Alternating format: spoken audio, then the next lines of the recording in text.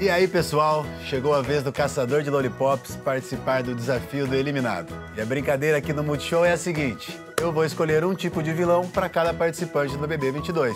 Vamos nessa?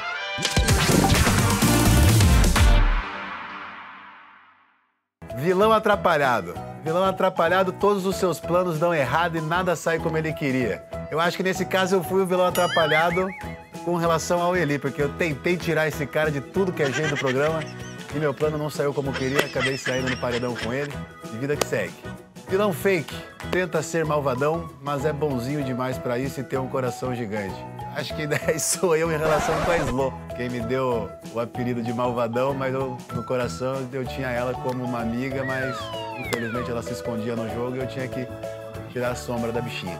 Vilão disfarçado. Tem cara de bonzinho, mas engana todo mundo. Essa aí vai pra turma da padaria aí. O cara tá enganando bem. Vilão incompreendido. Tem lá os seus motivos para fazer suas maldades. Bom, vilão incompreendido. Essa tá me pegando.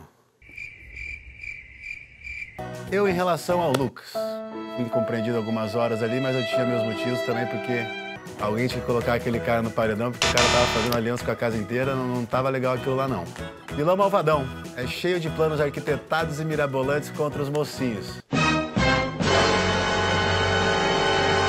Aí são todos os lollipoppers contra mim, porque eu era o mocinho da minha história. Vilão sem paciência, se discordar dele já era, cortem as cabeças. Essa aí também acho que vai ter que ficar pra turma da padaria. Então é isso, curtiram galera? Me digam aqui nos comentários se vocês concordam com a minha galeria de vilões e continuem ligados nas redes sociais do Multishow. Assim vocês ficam por dentro de tudo que rola na reta final do BBB 22. Um abraço.